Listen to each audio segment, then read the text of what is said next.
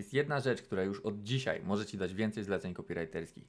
Jedna rzecz, z której istnienia nie zdajesz sobie sprawy. Jeżeli tylko zgłaszasz się na zlecenia, a nie dajesz zleceń, to prawdopodobnie nie widzisz tego, co się dzieje po drugiej stronie. Ja dawałem zlecenia i parę moich znajomych dawało zlecenia i to, co tam się dzieje, to jest po prostu Meksyk. Co rozumiem poprzez Meksyk? O tym za chwilę. Teraz krótkie intro, a Ty w tym czasie możesz kliknąć suba dla YouTube'a, możesz kliknąć lajka dla Spotify'ka, możesz dać znać tym algorytmom, że tu jest fajnie. Podcast The Best, czyli Daniel bawi, edukuje, słucha i tłumaczy. Podcast dla copywriterów, którzy chcą zarabiać więcej hajsu. Co to za jedna rzecz? Jedna rzecz, z której istnienia nie zdajesz sobie sprawy. Jedna rzecz, z której istnienia nie zdaje sobie sprawy 70-80% copywriterów. To jest przeciętność. To jest skala przeciętności, jaka występuje przy zgłaszaniu się na zlecenie. To jest, to jest skala przeciętności, jaką sobą reprezentują te osoby. To jest skala miernoty, żeby nie powiedzieć chujowizny na rynku copywriterskim. Nie zdajesz sobie sprawy z tego, jakie na zapleczu jest dno. Nie zdajesz sobie sprawy ze złudzeń, jakimi żyją ci ludzie. Naprawdę. Wielu z nich, mam wrażenie, wydaje się, że są jedynymi copywriterami, którzy zgłaszają się na dane zlecenie. I zestaw sobie to teraz z, z informacjami od moich klientów, znajomych, od ludzi. Jest taki gostek, Holko chyba ma na nazwisko. Dawał kilka zleceń i mówił, że zgłosiło się 120 osób na jedno zlecenie. 120 osób na jedno zlecenie i nie było z czego wybierać. 120 kuźwa osób na jedno zlecenie. A oni się zgłaszają tak, jakby byli jedynymi copywriterami na grupie na Facebooku, w której jest 50 tysięcy osób. Come on, to jest dramat. To jest dramat, kurwa. To jest dramat. 120 osób. Wrzucałem niedawno taki filmik, jak pokonać 120 konkurentów. Było zlecenie, jakaś organizacja dawała y, ogłoszenie, że szukają copywritera i 120 komentarzy, z czego większość nie ma maila. Daj maila. Jak dasz maila, to się zgłoszę. Jaki adres e-mail? Proszę podać maila. 120 komentarzy pytających o maila, gdzie wyklikanie, wygooglanie, wyfacebookowanie tej osoby zajęło mi 14 sekund. 14 sekund i mam maila i piszę maila. I już jestem o krok przed 120 osobami. Naprawdę nie wiem, czy masz tego świadomość, czy nie masz tego świadomości, to ja Ci teraz chcę to powiedzieć. Nie zdajesz sobie sprawy ze skali przeciętności przy zleceniach na Facebooku. Tutaj ciekawostka, jak dawałem zlecenie na LinkedInie, to ta przeciętność była dużo, dużo niższa. Ale to temat na osobny odcinek. Co rozumiem poprzez przeciętność? Na początek tło historyczne. Dawałem parę zleceń dla siebie. Jak byłem w rankomacie, szukaliśmy osoby do pomocy, osoby, która napisze 2, 3 do 5 artykułów w miesiącu.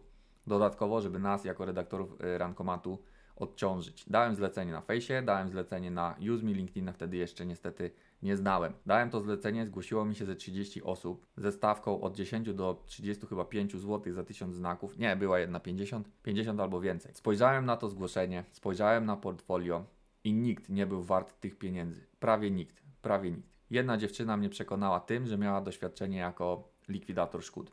I to tyle. I jedna dziewczyna miała całkiem ciekawe zgłoszenie, takie z jajem, trochę przekorne. Potem poszedłem na swoje. Okazało się, że całkiem dobrze mi idzie wyszukiwanie copywriterów, skoro już i tak ludzi znam. Zacząłem robić to na zlecenie dla swoich klientów. E, do dzisiaj ludzie mnie pytają, czy mogę kogoś polecić. Mogę kogoś polecić, ale żeby kogoś polecić, to ta osoba nie może być przeciętna. I szukałem tych copywriterów na zlecenie, tych zleceń było kilka, dawałem kilkanaście ogłoszeń w różnych miejscach, na grupach, na UseMe. I znowu, to co tutaj na zapleczu się dzieje, to jest po prostu koszmar. Ja mam formularz do zgłoszeń i za każdym razem instrukcja jest banalnie prosta. Wyślij maila na ten adres. W odpowiedzi dostaniesz formularz wypełnij go. I to już pokonuje 20-30% osób. 20-30% osób nie potrafi sobie z tym poradzić. I to jest dla mnie znak, że te 20-30% osób nie nadaje się do tej roboty. Bo jeżeli ty nie potrafisz wysłać maila i w odpowiedzi wysłać formularza, to jak przekonasz mnie, że wykonasz dla mnie dobry tekst? Jakim prawem możesz żądać na przykład wysokiej stawki, jeśli proste rzeczy przekraczają Twoje kompetencje? Nie da się. To nie, nie, to chyba, to chyba się nie da, proszę pani. Następnie z tych 70% osób, które potrafią wypełnić formularz. Oh boy.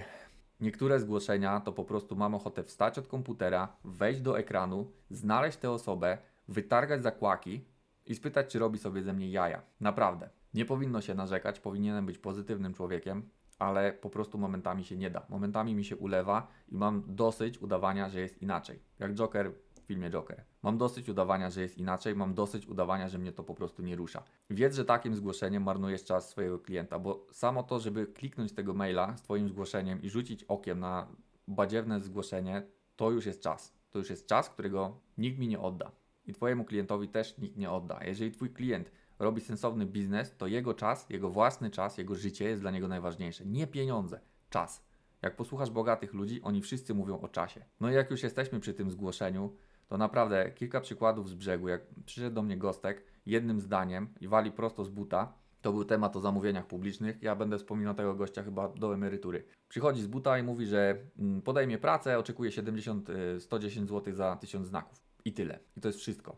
I ja go pytam, czy ma portfolio, czy ma teksty napisane z tematyki zamówień publicznych. To mi wrzucił teksty o plecakach na laptop. Pytam się, jak to się ma do zamówień publicznych. A on do mnie zmordą, że no chciał pan zobaczyć jak pisze, no to wysłałem jak pisze, czego pan nie rozumie. Ja na to patrzę i myślę sobie, i co, ja teraz miałbym taką osobę przedstawić mojemu klientowi, dla którego szukam copywritera?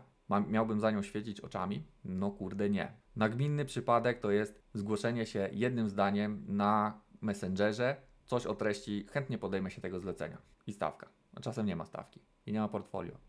Zasadniczo nie ma jednego argumentu, który przekonałby mnie, że ta osoba jest najlepsza do tego zlecenia.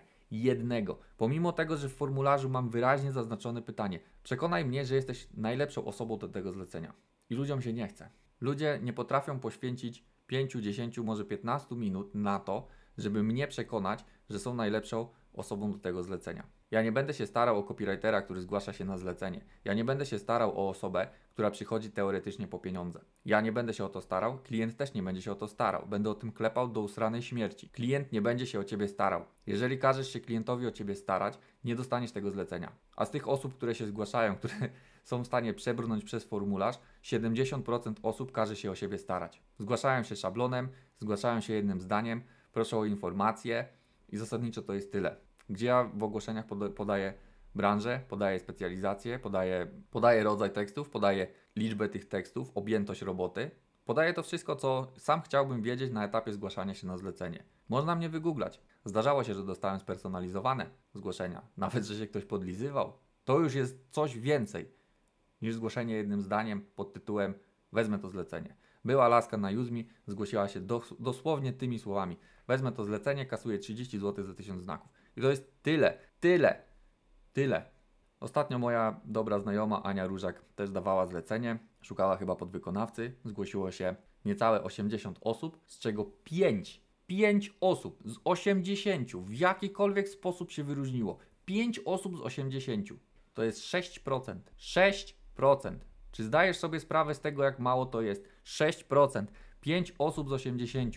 6% zadało sobie trud, żeby w jakikolwiek sposób wyróżnić się z tłumu. No dobra, powiesz, ale my nie wiemy, jak się wyróżnić z tłumu, bo nie wiemy, jak się zgłaszamy. No i tutaj mogę Ci powiedzieć, ja wiem, jak ci ludzie się zgłaszają. Ci ludzie zgłaszają się tak: portfolio, stawka, yy, doświadczenie, kim jestem, co robię, zapraszam do współpracy. To jest tyle.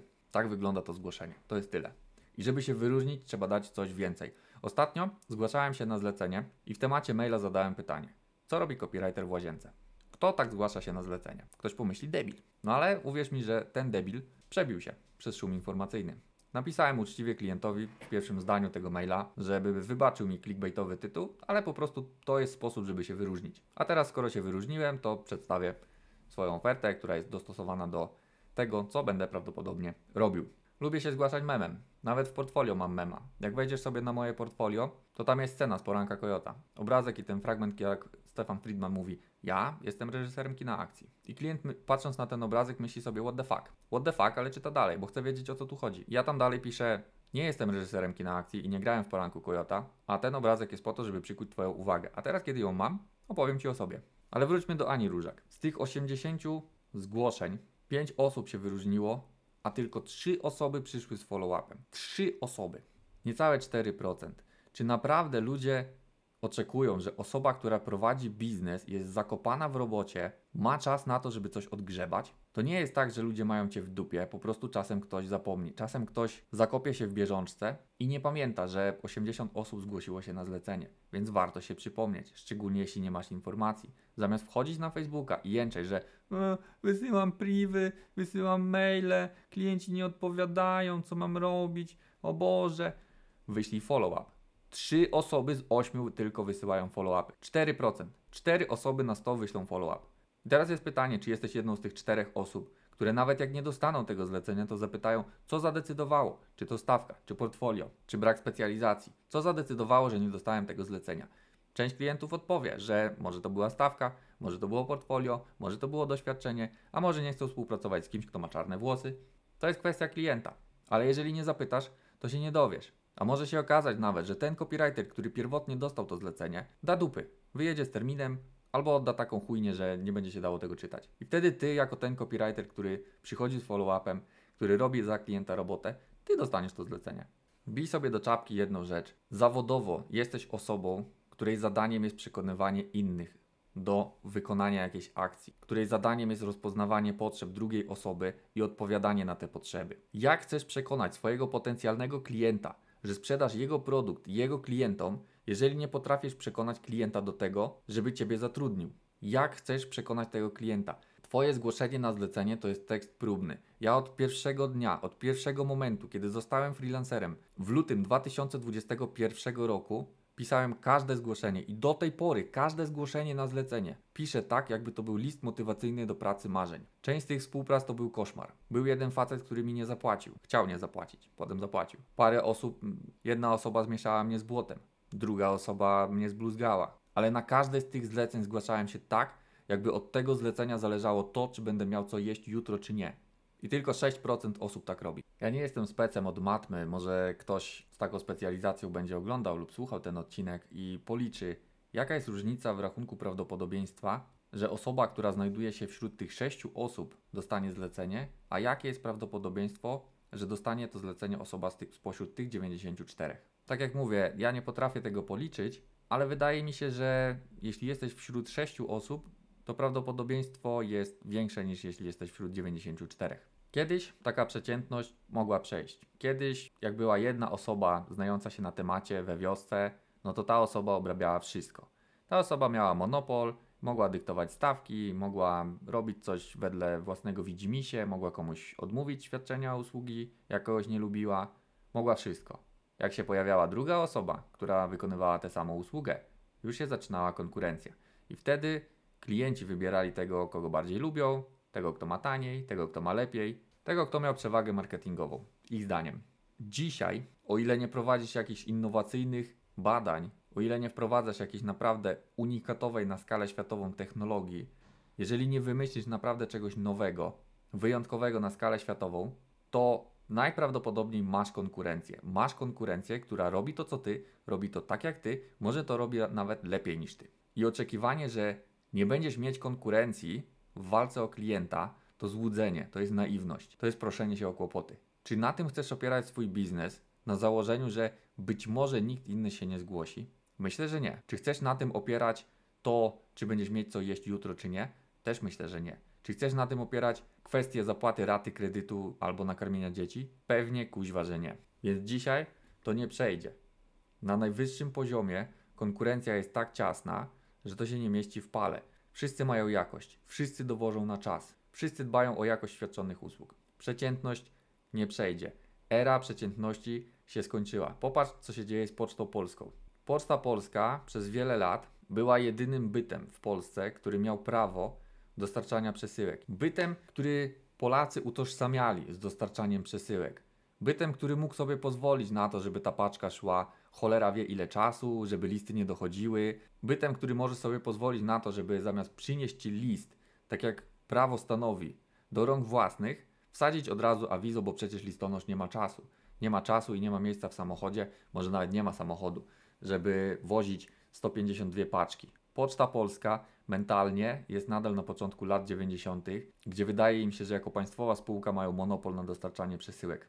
Jak któregoś razu byłem na poczcie, żeby wysłać porozumienie o przekazaniu praw autorskich jeszcze zanim poznałem M. Shafir, jednorazowy podpis kwalifikowany za 15 zł, link będzie w opisie, polecam. Musiałem dymać na pocztę i wysyłać papier. I pół biedy, jeśli to jest poniedziałek i poczta jest do 20, no to mam czas, skończę robotę, pójdę. Ale jeśli to był środek tygodnia i poczta jest do 16, bieda. Muszę się wyrywać z pracy i iść.